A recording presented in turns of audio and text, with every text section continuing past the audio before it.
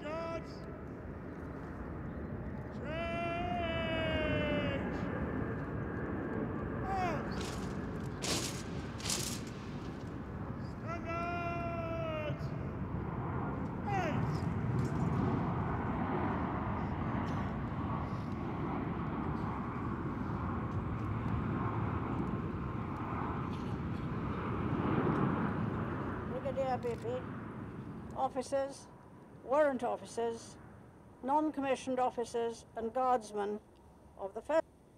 Thirteen years have passed since I presented you with the colours which have just been marched off.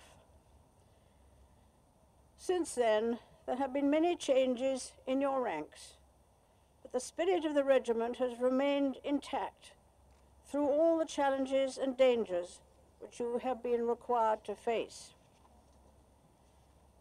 Preeminent in ceremonial duties, like the other members of the Household Division family, the Coldstream Guards have demonstrated, both in Iraq and Afghanistan, that they remain always ready and able to function as a first-class fighting unit. In addition, individuals have played their part when seconded for operational duties in other parts of the world.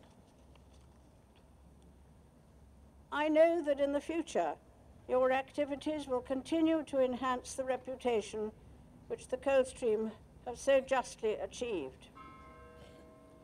You are worthy successors to those soldiers of General Monck's Regiment of Foot, who in 1660 marched from Coldstream to restore law and order in the capital, thereby enabling the restoration of the monarchy.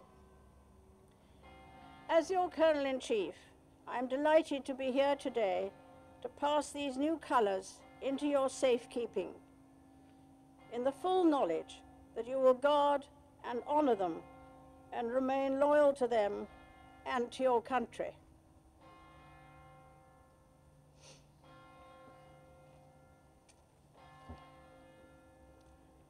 Your Majesty, on behalf of the 1st Battalion and Number 7 Company Coldstream Guards, it's my privilege to thank you for presenting us with new colours today and for your most gracious words.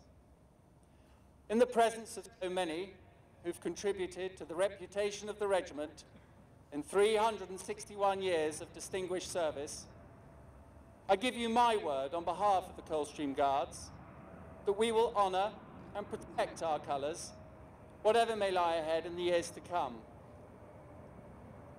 These colours will serve as a reminder of this day in your Majesty's presence and on behalf of the regiment, I give you our continued loyalty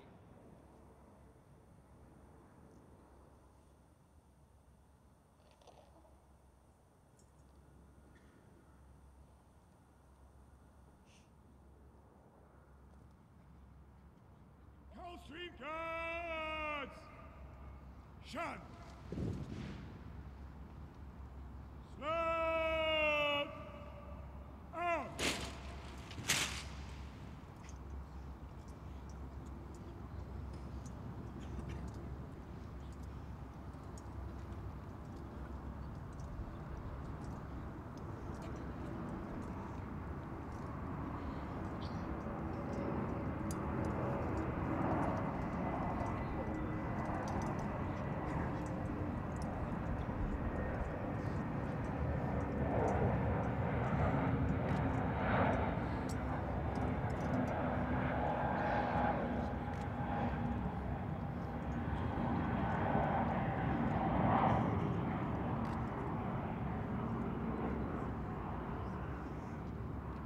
Machine guards, present!